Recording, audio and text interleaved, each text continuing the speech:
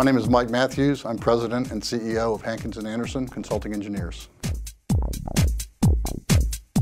Our firm is in a growth mode and we have been for about the last 10 years. We're continuing that growth for the next 10 years and beyond. Uh, one of the things we focus on is military engineering design for military facilities.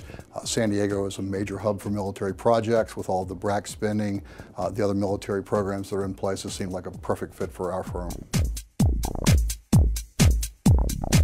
We're growing primarily because we specialize in federal government and the federal government is not only recession proof but as we're seeing with the economic stimulus package and a down economy the federal government actually increases spending so we're in a very fortunate position right now to be in a growth mode during a down economy.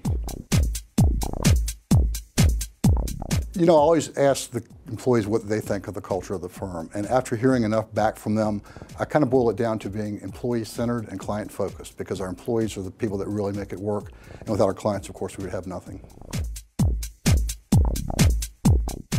We're certainly looking for self-starters, uh, professional level folks. We're an engineering firm and uh, we don't have a whole lot of hand-holding management. We hire the best people we can find and we expect them to be some of the best in the industry and as self-starters, they're, they're self-managed as well. And that, work, that has worked for us quite well over the years. We always try to hire entry-level positions when we have enough of the more senior level to positions to mentor them and support them.